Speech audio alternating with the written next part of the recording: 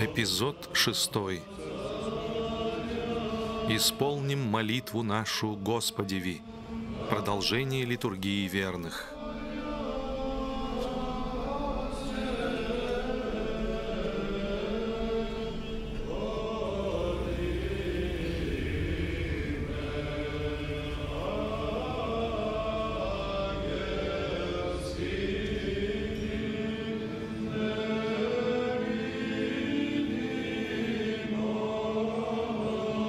Святая литургия — это непрерывное движение, движение навстречу Царству Божию.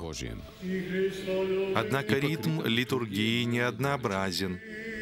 После Великого Входа, внесения святых даров в алтарь и их возложение на престол, наступает время, когда верующие в молитвенном настроении готовятся к заключительному акту приношения даров хлеба и вина Богу, который в великой тайне Духом Святым приложит их в тело и кровь Христовы.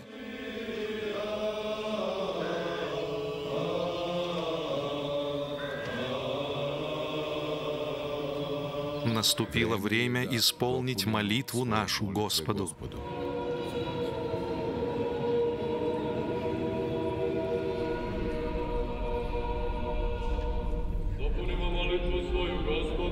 Молитвы после приношения.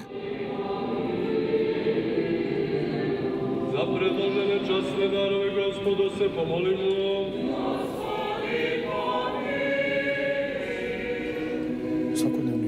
Повседневная жизнь с ее опасностями, потребностями и разными искушениями не остается за пределами божественной литургии. В молитвенных прошениях, которые сейчас начинает произносить священнослужитель, мы просим у Господа мир всему миру и ангела мирно, хранителя душ и телес наших, в это время верующие поют песню хваления Богу.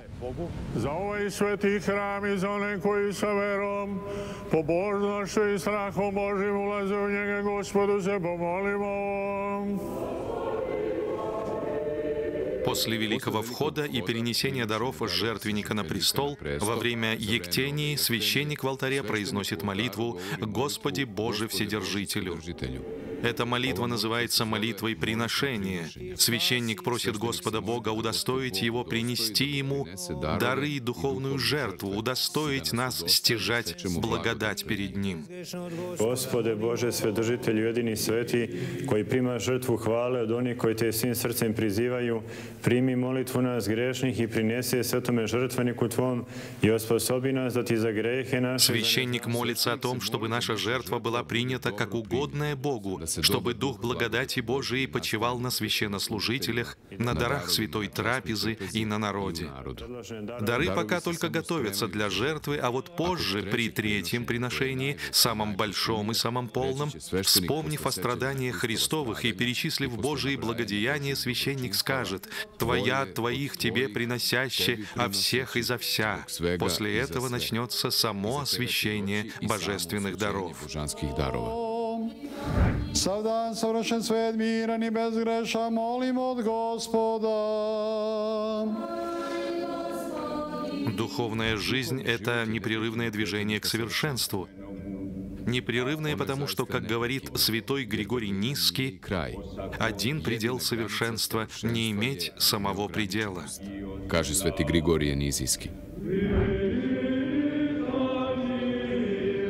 Святой Макарий Египетский, рассуждая о духовном совершенстве, говорит, когда душа взойдет к совершенству Святого Духа, очистившись от страстей, и придет в неизреченном общении в единение с Духом Утешителем, и с растворяемая Духом сама сподобится стать Духом, тогда делается она вся оком, вся Духом, вся радостью, вся упокоением, вся радованием, вся любовью, вся милосердием, вся благостью и добротою. Anđela mira vernog vođu čuvara duše i tela naših od gospoda molimo. Моление ангелу Мирну — древняя молитва. Ее произносили в разное время на разных церковных службах. В апостольских правилах использовалась как заключительный ряд молитв перед отпуском верующих на утренней и вечерней службе. Святой Иоанн Златоуст об этой молитве говорит, «Каждый верующий имеет ангела, так как из самого начала каждый благочестивый человек имел ангела. Итак, если у нас есть ангелы, то будем вести себя осмотрительно, как бы с нами были наставники, потому что с нами есть и демон». Поэтому будем молиться и взывать, прося себе ангела мирно. Мы и везде просим мира, потому что с ним ничто не может сравниться.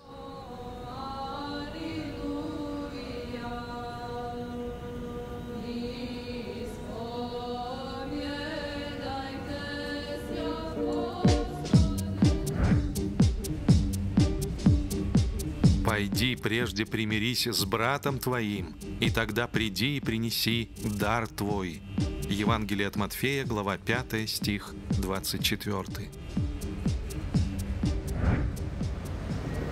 Итак, если ты принесешь дар твой к жертвеннику и там вспомнишь, что брат твой имеет что-нибудь против тебя, оставь там дар твой пред жертвенником и пойди прежде примирись с братом твоим, и тогда приди и принеси дар твой Богу, эти слова сохранились в Евангелии от Матфея. А чин лобзания мира на святой литургии имеет древнейшее происхождение и, возможно, родился благодаря словам самого Спасителя.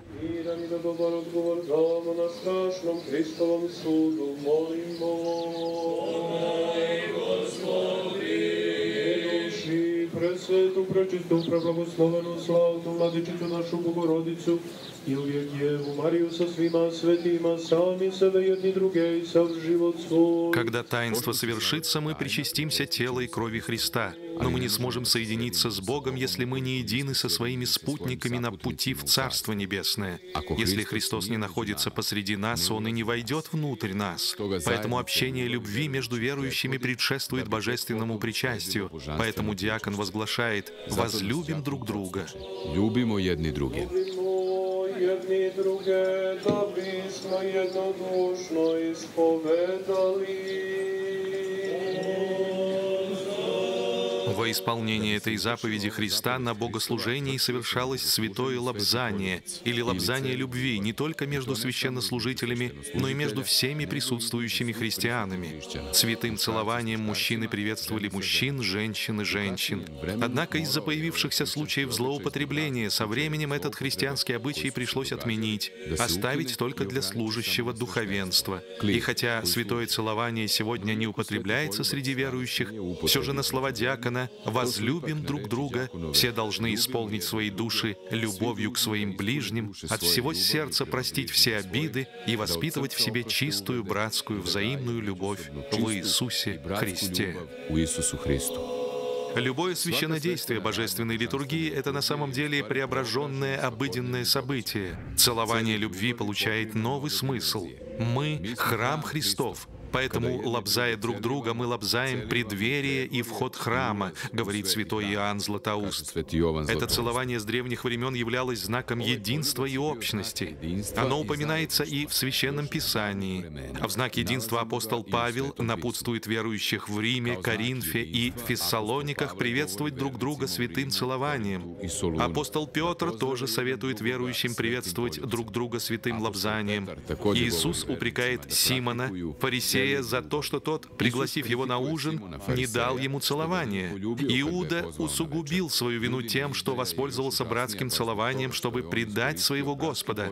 Нет никакого сомнения в том, что целование мира было очень важной составляющей древней Евхаристии. Книга Дидахе поучает христианина. в день Господень, собравшись вместе, преломите хлеб и поблагодарите, исповедовав прежде свои грехопадения, дабы ваша жертва была чистой. Каждый же, находящийся в разладе со своим другом, да не присоединяется к вам до тех пор, пока они не примирятся, чтобы вашей жертве не быть оскверненной. Святой Поликарп был учеником апостола Иоанна Богослова и епископом Смирны, города на западном берегу современной Турции. В его время появились противоречивые мнения о точной дате празднования Пасхи.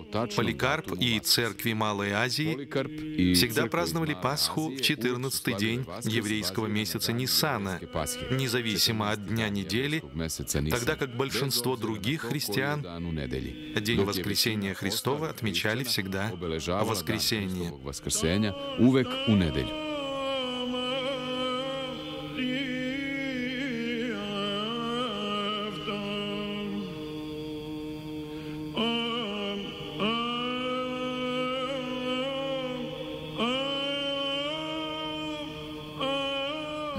Несмотря на глубокую старость, Поликарп поехал в Рим и обсуждал проблему с Аникетом, епископом Рима.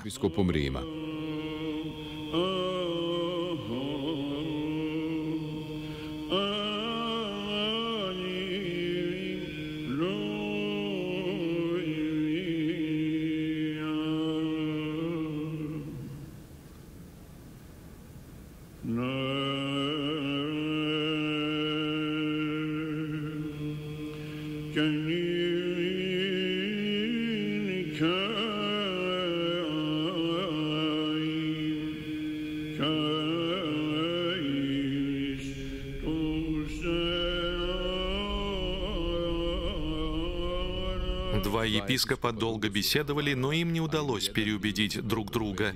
Поликарп говорил, что о дате Пасхи он узнал лично от апостола Иоанна. А Никет же заявил, что он учился у своих предшественников.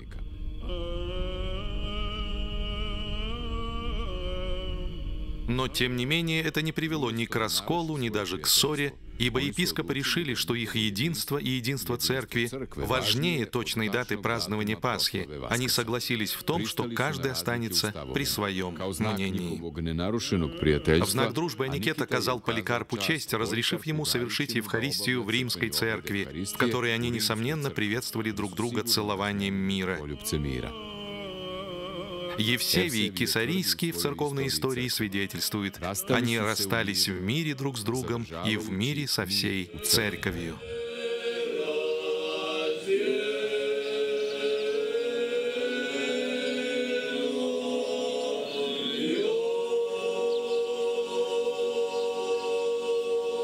Hristos među nama. Jeste i biće. Jeste i biće. Hristos među nama. Jeste, biće. Jeste, biće. Biće. budget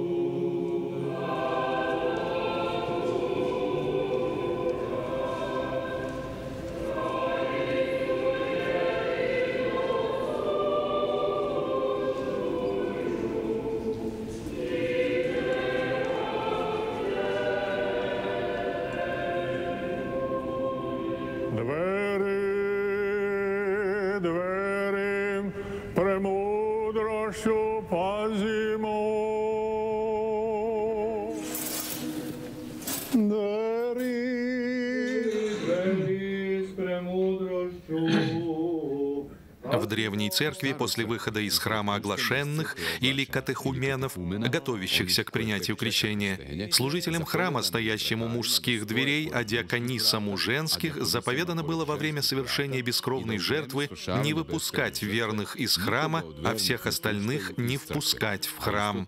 Слова «двери», «двери» относятся к тем служителям храма, которые заботились о том, чтобы двери храма были закрыты во время литургии. otvorena u vreme liturgije. Когда со временем древний обычай потерял свою значимость и вышел из практики, возглас «двери-двери» все же сохранился, но не как воспоминание о прошлом, а как назидание. Как у храма есть двери, в которые нельзя допускать недостойных, так и человеческая душа, будучи храмом Божиим, вместо дверей имеет чувства, которые следует охранять в священный момент богослужения, дабы не вошел в нее грех. zatvore kako greh u ovom sveštenom času ne bi ušao u čovekovu dušu.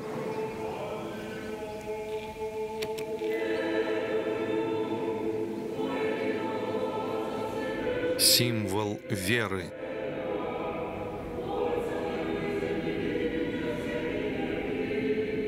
Верую во единого Бога Отца, Вседержителя, Творца небу и земли, видимым же всем и невидимым.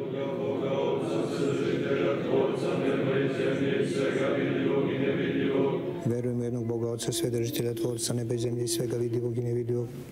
И во единого Господа Иисуса Христа, Сына Божия, i u jednoga gospoda Isusa Hrista, Sina Božijeg, I u jedinog gospoda Isusa Hrista, Sina Božija,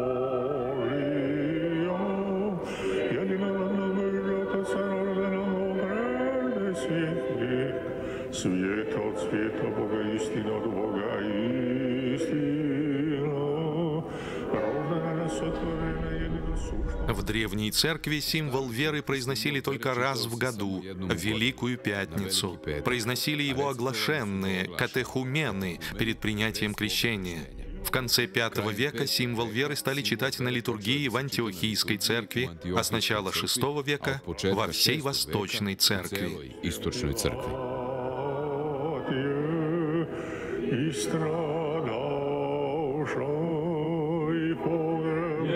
Единородного иже от Отца рожденного прежде всех век.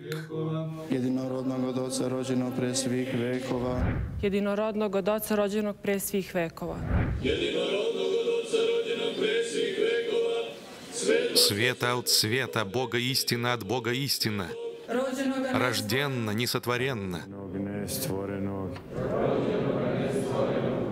Единосущно Отцу, им же вся быша.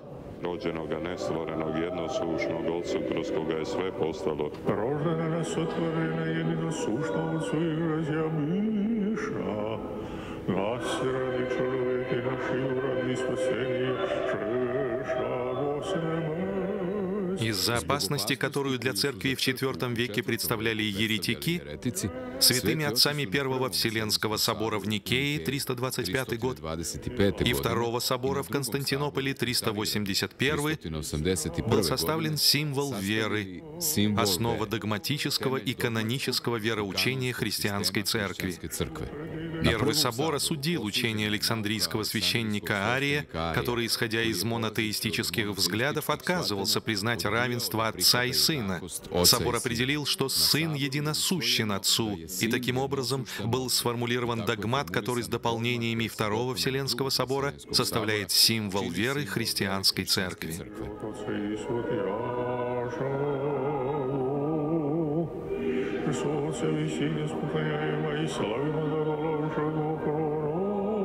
И святую апостольскую. Вся тварь переживает сильное потрясение. Своей жертвой Христос, Сын Божий, в человеческом теле являет божественную силу.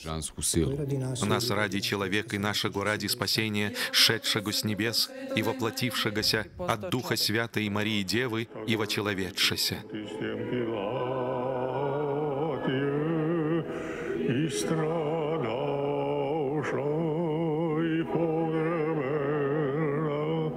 и воскресшего третьим Писанием и и сидящего десною и паки I koji je raspet Распятого же заны при Понтистем Пилате и страдавший погребенно.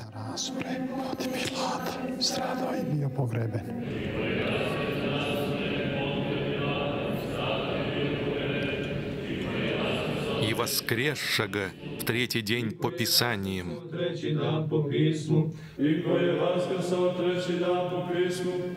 koji je vaskrsao u treći dan po pismu,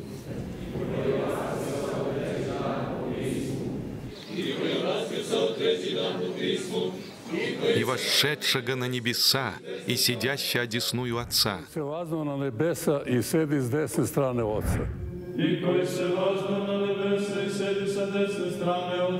и паки грядущего со славою судите живым и мертвым.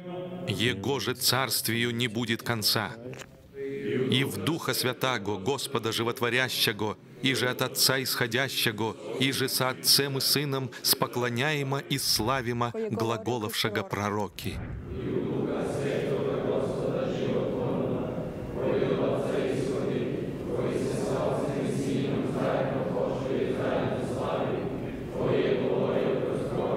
Единую, святую, соборную и апостольскую церковь. Церковь одна, соборная и апостольская, как записано в символе веры. Глава Вселенской Церкви — сам Господь Иисус Христос. Все поместные церкви и каждая из них в отдельности должны хранить неискаженными Священное Писание, предания, догматы и единообразие богослужения.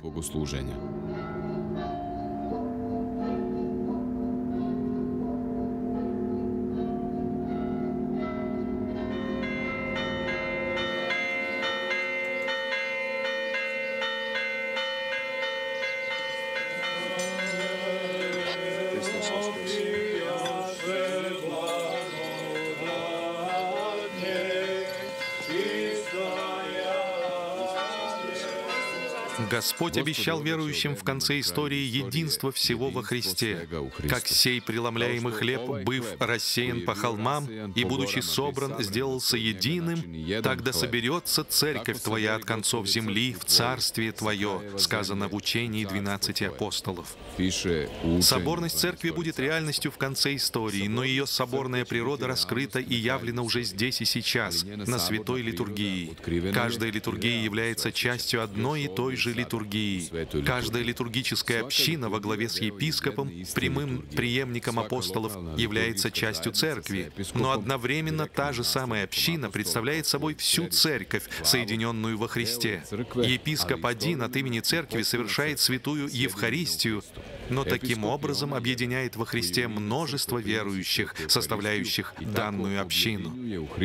А с другой стороны, в посвящении каждого нового епископа путем совместного призывания Святого Духа с самых ранних времен должны были принимать участие по меньшей мере две или три соседние церкви. Таким образом, каждой из них предоставлялась возможность иметь полноту церковной жизни, и в то же время каждая церковь ограждалась от опасности впасть в самоизоляцию, заблудиться и отделиться от соборности Вселенской Церкви, а тем самым и жизни во Христе.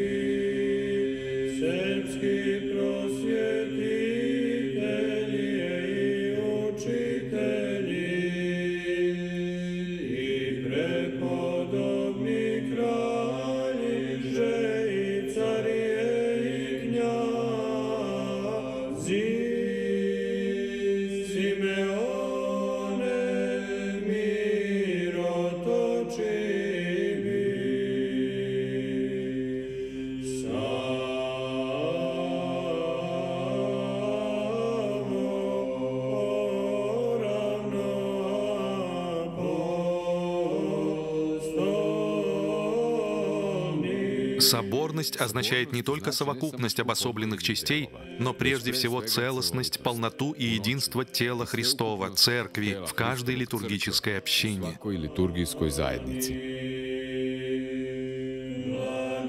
Соборность также делает возможным преодоление во Христе любого разделения, природного и социального. Множество становится единым во Христе, но при этом не теряется личность отдельного человека. Mnoštvo postaje jedan Наоборот, в самом тесном общении в духе со Христом и ближними личность достигает полноты и максимума своих возможностей. Своих najvećih mogućnosti. Иными словами, благодатью Божией становится Богом по усыновлению.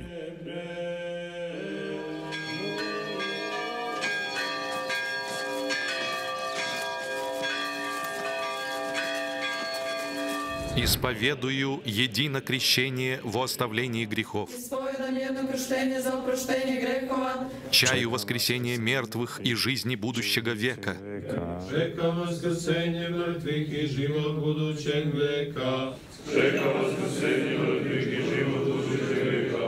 Čekam vaskrsenje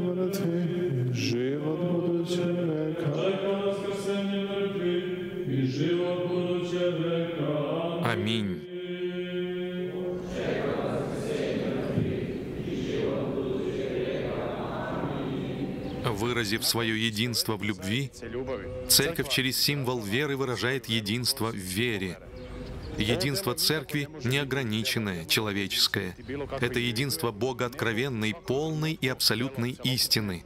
Не принимающий ее не может принадлежать Церкви, ибо такой человек что-то другое предпочитает истине и все еще является рабом ветхой жизни. Символ веры — это исповедание и мерило истины.